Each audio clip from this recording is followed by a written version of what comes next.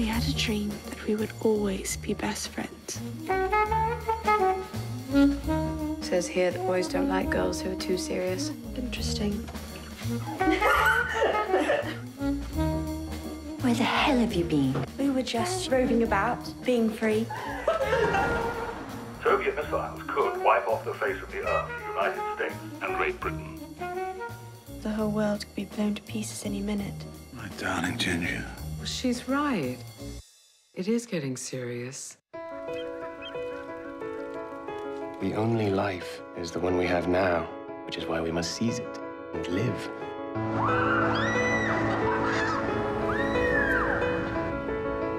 Bye, Ginger's dad. It's Roland, actually. Nuclear weapons threaten our very existence. We must stop this madness. I think Rosa is a bad influence.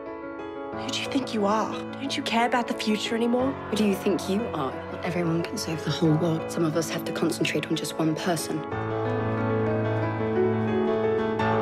Ginger may be grown up enough to try to save us all from nuclear catastrophe. But she's also young enough to still need some looking after. Say it. I'll explode if I say it. What is it you can't say, Ginger?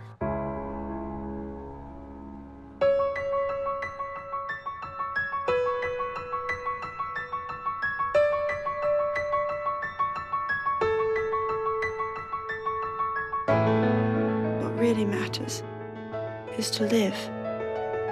And if we do, there will be nothing to forgive.